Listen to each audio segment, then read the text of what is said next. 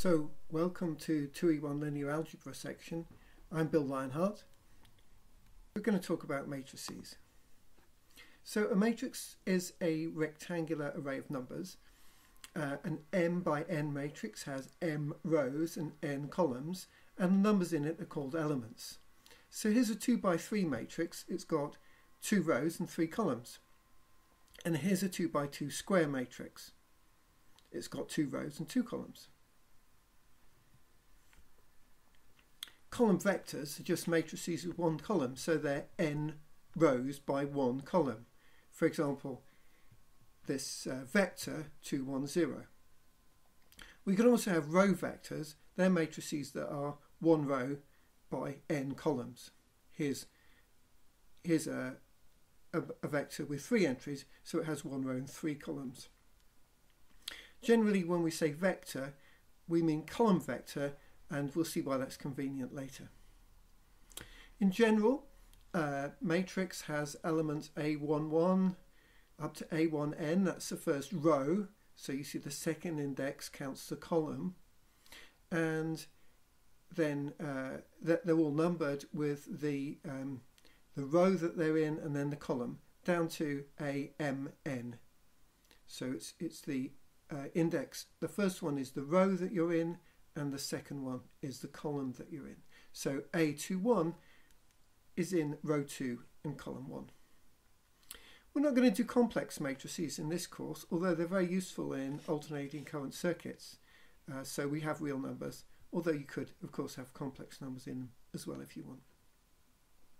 The notation we're going to use is uh, that matrices will be capital letters, vectors will generally be lowercase Roman letters, and scalars, in other words, just numbers, will be Greek letters. Um, some authors and some books use bold for vectors and matrices.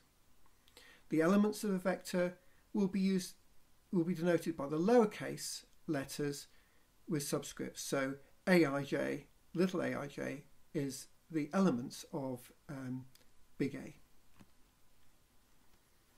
Okay, there's some special matrices. The zero matrix is just a matrix full of zeros, so you can have it any shape you like, any number of rows and columns. There's a zero matrix. There's also a special matrix that um, really plays the role a little bit like one does for numbers. And that's a, a square matrix with ones along this main diagonal and zeros elsewhere. It's denoted by the letter I, capital I, which is a bit indistinct in this font. A diagonal matrix is one with non-zero numbers only on the diagonal. So for example, this matrix D has D11, D22 and D33 and all the other D something somethings uh, are zero. Of course, it can also have zeros on the diagonal, um, but it, it, it must be zero off the diagonal. The identity matrix and indeed the zero matrix count as diagonal matrices. Okay, what can we do with matrices? Well, we can add them and we can multiply them by a scalar, for example, a plus 2b. We can multiply matrices by vectors and matrices by matrices, but there's a constraint on what shape they are, which we'll look at. So first of all, when are two matrices actually equal? Well, they have to be the same size, first of all, and all the elements have to be the, the correspond in the same place. So Aij is Bij for every i and j that's valid. Okay, so first of all, adding matrices is easy. What we do is we just add the corresponding elements. So the A11 plus the B11 gives us an element uh, in, in the 1, 1 position. And we see that when you add matrices, you'll get a matrix of exactly the same shape. And you can only add them if they're the same shape as well, because you have to add the corresponding elements. So we can add a 2 by 3, 2 rows by 3 columns matrix to another 2 by 3, and the answer is a 2 by 3. For example, 3 plus 4 is 7 here. We can also add column vectors, and of course it just follows the familiar pattern for adding vectors. If we add the 0 matrix of the correct shape, the same shape as A, then of course we just get A because we just added 0. We can multiply uh, a whole matrix by a scalar, in other words a number, alpha, And we again, we just do that element wise. So alpha times the matrix A, we just multiply all the elements by uh, the scalar number alpha. So 3A, where A is this matrix, we just multiply all the elements by 3. We can take what are called linear combinations. In other words, a scalar multiple uh, plus another scalar multiple. In this case, you can think of it as multiplied by minus 3. So something times this matrix plus something times this matrix.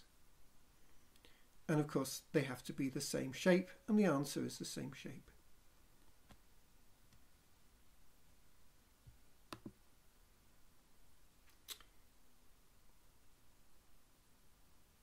The transpose of a matrix is simply the matrix written the other way up. So um, for every element aij, you replace it by bji. So um, the transpose of A is a matrix with the rows and columns reversed. That's very simple in, in practice.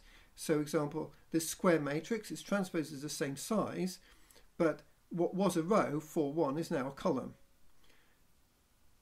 and what was a column, 4, 2, is now a row. So we just swap all the rows and columns. If you transpose a column vector, you get a row vector. And it's written as a superscript T. Some authors also use dash, for example, for transpose, or, or, or a few other symbols. If you transpose twice, you get back to where you started, because you swap rows and columns, and then you just swap them back. And if you add two matrices and transpose them, well, you, you can just transpose them before or after you add them because you're just adding the corresponding elements. Let's look at the dot product of vectors. You know this dot product or, or scalar product or inner product. If we're given two vectors, all we do is we multiply the corresponding elements and then we add them up, giving us a scalar answer, a number. So a dot b is a1, b1, a2, b2, and so on. So for example, if we have these two vectors, um, the dot product is 1 times 2 plus 4 times 1 plus 3 times 2. So um, that's a familiar dot product and we can also write that as A transpose times B. In other words, if we write this row, um, this row vector and this column vector, then um, we're saying that in this notation, we can multiply a row by a column, and what we do is a1b times b1 plus a2 b2. So in other words, we just multiply the corresponding things and add them up. And this is the beginning of understanding how we multiply matrices. So we can multiply a row vector and a column vector of the same size, and it's the same as the dot product. And, and here it is in, in, uh, in that notation. Okay, so finally, matrix vector products. The matrix vector product of a matrix times a vector, um, first of all, we have to have the, the right size. So if we have an m by n matrix, and then a vector, that's a column vector of length n, then the answer is a column vector of length m. So it takes something of length n and gives us one of length m and we've seen that before for um, a special case where A was actually a row vector. So the way we compute it is by taking inner products with the rows of A and X.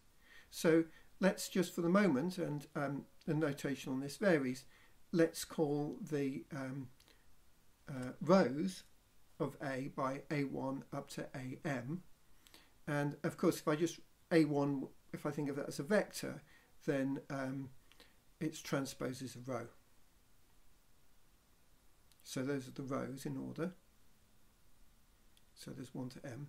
And then the matrix times a vector, all it means is we take each row and dot product it with x. So of course it means that the length of the row, the number of columns, has to be the same as the number of rows of x. So that has to match. In other words, the um, the row, the length of the row has to be the same as the height of x. So here's some examples. Here's a, here's a matrix A and here's a vector x. And to multiply a times x, what we do is we get the first row, 2, 1, 3, and multiply it by 1, 3, 4. So that's 2 times 1, 1 times 3, 3 times 4, adds up to 17. Here we've got 0 times 1, 2 times 3, 5 times 4, and that adds up to 26, and so on. So each of the rows has got together with this column, and then we've taken the dot product. So, so the answer is the column vector 17, 26, 11. But to save space, we've written it as, as a row vector and then put transpose, which is a, a, a neat trick. Well, what's the point? Well, uh, first of all, with this definition, matrices times vectors is useful for geometric operations. For example, um, if you want to shear something over, in other words, like you would push over a, a stack of paper, um, then uh, that's achieved by this matrix. If you wanted to rotate a vector, you've got a matrix with some trig functions in. A scalar factor alpha, we just get alpha times the identity, and to shift something and just move it, we can add a vector. So all those uh, operations can also be done in, in um, three dimensions, and so it's handy for studying motion and uh, computer graphics, but also matrices are very widely used in control theory and optimization. Electrical networks was one of the original motivations, um, and even the Google rank is a problem in matrix algebra, so the way that, that Google sorts things. Um, one of the prime examples, though, is simultaneous equations. And if we just have this simple pair of simultaneous equations, um, we can abstract it as ax equals b, where a is just the coefficients of the x1 and x2 when they're written in order, and b is the column vector 3, 1. And then, of course, x has to be the column vector x1, x2. So it's just a way of writing this simultaneous equation as one um, algebraic object a, a x equals b.